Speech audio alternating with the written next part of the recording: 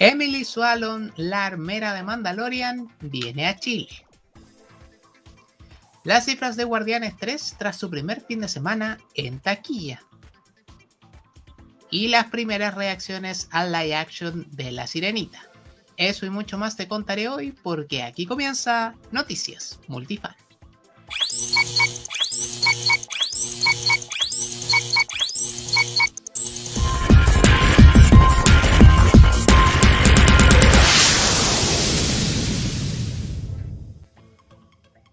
Hola Multifans, bienvenidos a una nueva entrega de Noticias Multifan. En el año 1975 se estrenó en los cines Tiburón, una película de terror dirigida por Steven Spielberg. Está basada en la novela homónima de Peter Benkley y cuenta la historia de un gran tiburón blanco que aterroriza a los habitantes de una pequeña isla turística en Estados Unidos. La película tuvo un gran impacto en la cultura popular y se convirtió en un éxito de taquilla recaudando más de 450 millones de dólares en todo el mundo y convirtiéndose en la cinta más taquillera de su tiempo. Además, la película fue nominada a varios premios de la Academia, incluyendo Mejor Película, Mejor Dirección y Mejor Montaje, ganando finalmente esta última categoría. Tiburón es considerada una de las películas más influyentes en la historia del cine, ya que popularizó el género de los thrillers de verano, y sentó las bases para la industria del cine moderno. La película también fue pionera en el uso de efectos especiales y técnicas de filmación innovadoras, como el uso de la cámara subjetiva y la banda sonora icónica de John Williams. A pesar de que la película fue inicialmente criticada por su enfoque en la violencia y la sangre, su éxito en taquilla y su impacto cultural posterior han asegurado su lugar en la historia del cine. La cinta ha sido remasterizada y reestrenada varias veces a lo largo de los años y es considerada un clásico del cine de terror y un hito en la carrera de Steven Spielberg. Tras ese dato que nos llena de cultura pop, y si te está gustando el video, déjanos tu like, suscríbete y activa la campanita para no perderte los próximos videos. Además te invito a que si nos estás viendo a través de Facebook, nos apoyes con estrellitas, así podremos mejorar nuestro contenido. Mi nombre es Guillermo y comenzamos creadora será quien elegirá el elenco de la serie de Harry Potter. Los elegirá ella misma. Se ha confirmado que J.K. Rowling será la encargada de elegir a los actores que darán vida a los personajes principales de la nueva serie de Harry Potter para la plataforma Max. Recordemos que se anunciaron al menos siete temporadas, una por cada libro. Aún no hay fechas para este contenido que será lo nuevo de la saga del mago adolescente. Jonathan Mayors tendría los días contados como Kang y Jenna Ortega protagonizará Beetlejuice 2. Estos son los casteos más importantes de la semana. Según The Cosmic Circus, Jonathan Mayors permanecerá como Kang en la segunda temporada de Loki, pero Marvel Studios ha comenzado preparativos para reemplazarlo si sus problemas legales empeoran. La serie llegaría en octubre de este año. Margot Robbie seguiría siendo Harley Quinn, Daniel RPK reveló que Margot Robbie continuará como Harley Quinn en el DCU de James Gunn, sin importar que se convierta en Sue Storm en Fantastic Four del UCM, rumor que te contamos la semana pasada, porque prácticamente está confirmado que sí se le ofreció directamente el papel. Seguimos en el DCU porque la actriz Madeline Klein estaría entre las candidatas para ser Lois Lane en Superman Legacy de James Gunn. Es oficial que la actriz audicionó para el papel y curiosamente ha comenzado a seguir las cuentas de DC Comics en Instagram. Cambiamos de franquicia porque The Brad reportó que el actor Carl Urban de The Voice está en conversaciones con Warner para interpretar a Johnny Cage en la secuela de Mortal Kombat. De vuelta al UCM, Daniel RPK reportó vía Patreon que el papel de Mia Goth de Pearl en Blade de Marvel Studios sería el de Lilith, que en los cómics es la hija de Drácula. Asimismo, asegura que la cinta será clasificación R, es decir, para mayores de 18 años. Y esto es oficial porque Jenna Ortega coprotagonizará, junto a Michael Keaton, la secuela de Beetlejuice. La actriz dará vida a la hija de Lydia, el personaje de Winona Ryder, que también estará de regreso. Asimismo, se anunció que su estreno será el 6 de septiembre del 2024. ¿A cuál rumor le tiene más fe esta semana? Cuéntanos en los comentarios. La hija de Carrie Fisher recibió la estrella póstuma en el Paseo de la Fama de Hollywood. Billy Lord, de 30 años, ha querido homenajear a su madre con un impresionante vestido con la estampa de su personaje más famoso, la hija del Jedi Anakin Skywalker de la saga Star Wars. Junto a ella, en este día tan importante, celebrado el pasado 4 de mayo, ni más ni menos, ha estado también Mark Hamill, el actor y amigo de la familia, interpretó a Luke Skywalker, hermano de Carrie en la ficción. Desde ese momento ambos se hicieron inseparables. Billy y Hamill han estado durante todo el acto con las emociones a flor de piel y en determinados momentos no han podido evitar emocionarse. Fue una actriz increíble que infundió su ingenio y fuerza en cada personaje que interpretó, aseguró su hija Billy al hablar de su madre. Mark Hamill recordó así a su amiga. Carrie era única y nos pertenecía a todos, nos gustara o no. Ella era nuestra princesa. Carrie Fisher recibió la estrella número 2754 en el Paseo de la Fama. Harrison Ford develó la suya en el 2003 y Hamill lo hizo lo propio en el 2018. Las estrellas del Paseo de la Fama se otorgan a los artistas nominados y se requiere de una tarifa de 75 mil dólares para crear la estrella y mantenerla. Estas son las producciones que se han visto afectadas por la huelga de guionistas de Hollywood. La semana pasada te contamos del inicio, con carácter de indefinida, de la huelga del gremio de guionistas de Hollywood, quienes buscan mejores regalías y pagos por el nuevo rumbo que está tomando la industria producto del streaming y la inteligencia artificial. Los primeros afectados fueron esa misma semana los programas de entrevistas, pero ahora estas series y películas ponen pausa sus producciones. Por ejemplo, la producción de la temporada 1 de Daredevil Born Again de Marvel Studios es una de ellas. También ocurre lo mismo con la preproducción de Blade, la cinta reboot, continuará tan pronto se resuelva todo.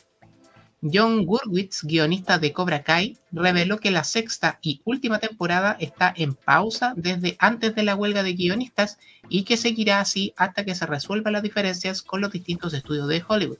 Esto dijo, no son tiempos divertidos, pero es necesario.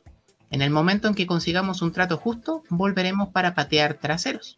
Además, los hermanos Duffer reportaron que la producción de la temporada final de Stranger Things no comenzará hasta que finalice la huelga de escritores, a pesar de que los guiones ya han sido entregados. Esto como una muestra de solidaridad con sus colegas. Finalmente, pese a los buenos deseos de algunos sectores, cerramos con que Deadline reportó que HBO, Disney y CBS han amenazado a todos los showrunners, escritores y productores con no pagarles si no trabajan durante la actual huelga de escritores en Hollywood. Muchos proyectos como los spin-offs de Batman y las series de Star Wars y el UCM están en peligro. Además, desde la industria afirman que las negociaciones están en punto muerto y que se vislumbra un enfrentamiento bastante largo. Pedro Pascal en la cinta de Pedro Almodóvar. Nuevo vistazo a The Strange Way of Life, el nuevo cortometraje de 30 minutos del director español Pedro Almodóvar, que será un western protagonizado por Pedro Pascal e Ethan Hawke, en el que se explora la homosexualidad de sus personajes. El corto se estrenará el próximo 26 de mayo en el Festival de Cine de Cannes 2023. Producción quemó los trajes del elenco de Supergirl. La actriz Breck Basinger quien protagonizó Stargirl, Stargirl, perdón, dije Supergirl parece, comentó que después de que terminaron de filmar el episodio final de la serie, el estudio mandó a incinerar los trajes. Los actores no pudieron quedarse con ellos ni con ningún objeto de utilería, ya que según el estudio temían que terminaran vendiéndose en eBay o que se dañara la integridad de lo que representaban. Stargirl fue cancelada en su tercera temporada y está ahora completa en HBO Max. Un actor de Guardianes estará en Superman Legacy de James Gunn. El director habría terminado y entregado a finales de abril el guion completo de la próxima película que escribe y dirige, Superman Legacy, justo días antes de que iniciara la huelga de escritores en Hollywood. La nueva cinta de DC estaría iniciando filmaciones en febrero de 2024, según señaló The Brad. Por otro lado, según Toronto Sun, James Gunn confirmó también que Crypto, el super perro, estará en la película. Además, durante las entrevistas post Guardianes de la Galaxia Volumen 3, el director confirmó que un actor de ese elenco también será parte de esta nueva cinta de Superman. La película se estrenará el 11 de julio del 2025. Y te lo contamos en titulares, la armera de Mandalorian viene a Superfest Black Edition. Este martes 9 de mayo, Superfest liberó su primera invitada internacional. Se trata de la actriz Emily Swallow de The Mandalorian, donde brilló como la armera, pero también ha participado de Supernatural y Castlevania, entre otras series de televisión. A través de un video saludo del artista, Emily Swallow dijo estar muy emocionada por su primera visita a Sudamérica y señala que ha escuchado mucho de los fans chilenos. En la convención pactada para este 13, 14 y 15 de octubre en Basel Venue en Santiago Centro, la actriz se tomará fotografías, firmará autógrafos y conversará con sus seguidores. Cerró el video con un inconfundible This is the way. Aún no ha comenzado la venta de tickets ni de productos asociados para Superfest Black Edition. Mephisto sería el villano para la serie de Agatha. Ya, esta vez sí es verdad. O al menos eso es lo que indicó el insider Can We Get Some Toast. El villano de la serie Agatha Coven of Chaos tiene la habilidad de aparecer en diferentes formas y la que veremos en esta serie es solo una de ellas. En los pasados días el mismo insider compartió fotos de la actriz Audrey Plaza como Mephisto. Recordemos que Plaza ha sido confirmada para la serie. Agatha Coven of Chaos llegaría a finales de este año o principios de 2024 creador de One Piece, dice que el live action solo se estrenará cuando él esté conforme. Netflix en sus redes sociales compartió una carta dibujada y escrita del puño y letra del propio Eiichiro Oda, creador de la franquicia One Piece, el próximo live action basado en un manga del streaming de la N Roja. Allí la plataforma señala que compartimos la misma determinación de invitar a todos al mundo de One Piece. Esto porque el autor del manga expuso que aunque ellos, Netflix, comprenden a cada uno de los personajes, la realidad es que venimos de culturas diferentes, así que nuestros códigos, técnicas y aspiraciones son distintas, apuntó. Todos los que participamos en la producción ahora estamos en la misma sintonía, argumentó Oda, añadiendo que Netflix se comprometió a que estrenaría la serie solo cuando yo esté conforme con el resultado, enfatizó. Sin embargo, dice que están en la recta final del proyecto. Adam Driver ya habría firmado para ser el señor fantástico. Según la insider My Time to Shine Hello, Adam Driver ya firmó contrato oficialmente para interpretar a Reed Richards en Fantastic Four. Recordemos que en las pasadas semanas su nombre fue mencionado varias veces para el papel, pero parece que ya no es un rumor y el contrato está terminado. Tenemos a nuestro Reed Richards en el UCM. Pero por otro lado, según la insider Grace Randolph, el icónico actor Denzel Washington rechazó el papel del poderoso enemigo de los Fantastic Four, Galactus. Hace unos días atrás, el medio Jan Freaking Robot reportó que Antonio Banderas está en negociaciones finales para interpretar al villano, luego de, varios, de que varios insiders reportaran lo mismo. Los Cuatro Fantásticos llegará a los cines el 14 de febrero del 2025. Super Mario Bros. superó a Toy Story 4 y los Minions como la cinta animada más taquillera. Según el último informe de Hollywood Reporter, la película inspirada en los videojuegos de Nintendo ya es la quinta cinta de animación más taquillera de toda la historia, lo que significa que dejó atrás a Toy Story 4 de Pixar y a los Minions del mismo estudio Illumination. La cinta del fontanero suma 1.161 millones de dólares y ahora está en el puesto 24 de las cintas más taquilleras de la historia. Sus próximas víctimas animadas podrían ser Los Increíbles 2 y La Bella y la Bestia, ambas de Disney, que están solo a 100 millones de distancia. El podio lo encabeza El Rey León del 2019 con 1.663 millones y le siguen Frozen 2 y Frozen 1 respectivamente. Imágenes promocionales muestran vestuario de Loki, Mobius y el personaje ganador del Oscar. Durante esta semana comenzaron a circular algunas imágenes que corresponderían al merchandising para el segundo ciclo de Loki, si bien estas piezas no nos dicen mucho sobre la trama de la serie, incluyen un par de cosas interesantes, y es que además de anticipar que el personaje de Ke Hui Kwan sería un agente de la TVA, no muestran a Mobius o Owen Wilson en lo que parece un traje espacial de la TVA. Según The Cosmic Circus, Marvel Studios lanzará la segunda temporada de la serie Loki en otoño y añadió que el mes que más sentido hace para, que, para Marvel sería octubre. La taquilla para Guardianes de la Galaxia 3 en su primer fin de semana. La película abrió su primer fin de semana con una apertura de 114 millones de dólares en los Estados Unidos para un total de 282 millones a nivel mundial. Además, el director confirmó que el guion estaba planeado para ser un spin-off de Rocket y Groot, pero terminó siendo la tercera parte de la franquicia. Gunn añadió que siempre vio a Rocket como el protagonista secreto de la historia de las películas de los Guardianes, pero primero tenía que contar la historia de Peter Quill para luego contar la de Rocket en la tercera película. Además, la organización PETA ha autoorganizado el premio Not a Number a James Gunn con Guardianes de la Galaxia Volumen 3, una obra maestra en defensa de los derechos de los animales, señaló la entidad.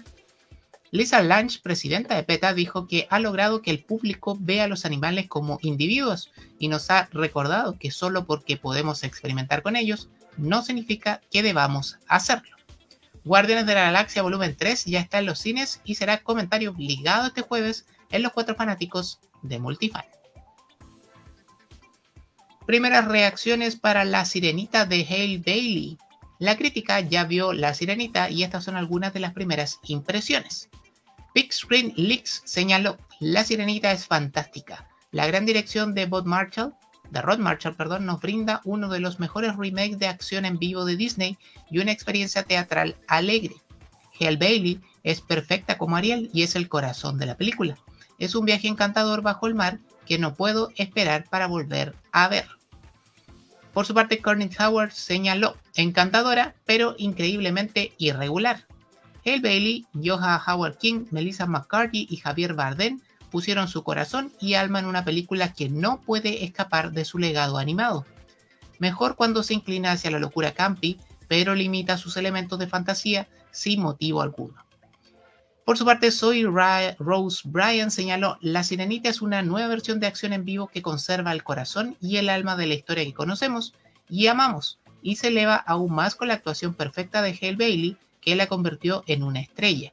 Nació para estar en la pantalla grande y ella es la razón por la que vale la pena ver esta nueva versión.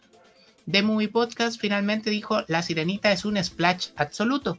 Vemos nadar a Hale Bailey como Ariel con tanta gracia, las canciones clásicas cobran nueva vida y son tan pegadizas como siempre. Quedarás hipnotizado con imágenes magníficas que te inundan de color, mientras David Kidd, David Biggs llena el caparazón de Sebastián con facilidad. Además, la actriz Jodie Benson, que da voz a Ariel en la animación de La Sirenita, le dio un efusivo abrazo a Hale Bailey, que da vida a la versión live action de la adaptación de Disney, esto durante la van premier desde donde emanaron estas primeras reacciones.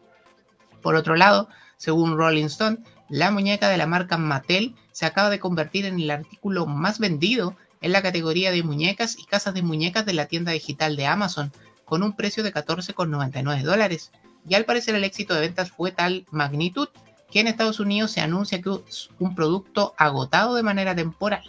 Finalmente, Deadline reportó que Disney adelantará un día, al 25 de mayo, el día jueves, el estreno de La Sirenita, para tener un fin de semana de cuatro días y, según los análisis, tener una taquilla aproximada a los 110 millones de dólares, uno de los mejores debuts de un live action de Disney desde Aladdin. La Sirenita preestrenará en Chile, por cierto, el próximo 24 de mayo. Ya sabemos en qué momento ocurrirá la temporada 2 de Andor. Tony Gilroy, el escritor detrás de la serie Andor, dijo, esta es una oportunidad. Estas son 1500 páginas del material más dinámico en la vida de estas personas. Lo hicimos bien la primera vez y no quiere dejar a tu pie fuera del acelerador. La segunda temporada de Andor será la final esto porque definitivamente los últimos tres episodios ocurrirán exactamente tres días antes de la trama que vimos en Star Wars Road One. Andor 2 estrenará en agosto del 2024 por Disney Plus. Y así le ponemos punto final a esta nueva entrega de Noticias Multifan. Por aquí te dejo un par de videos que seguro también serán interesantes para ti. Te invitamos a compartir este video y suscribirte. Queremos seguir creciendo y mejorando nuestro contenido y solo podemos hacerlo con tu ayuda. Además, si nos estás viendo o escuchando vía Spotify, por favor dale al botón seguir porque también nos ayuda un montón. Y recuerda, ¿para qué ser un fan si puedes ser un multifan? Nos vemos la próxima semana. Esto fue Noticias Multifan. Chao, chao, chao.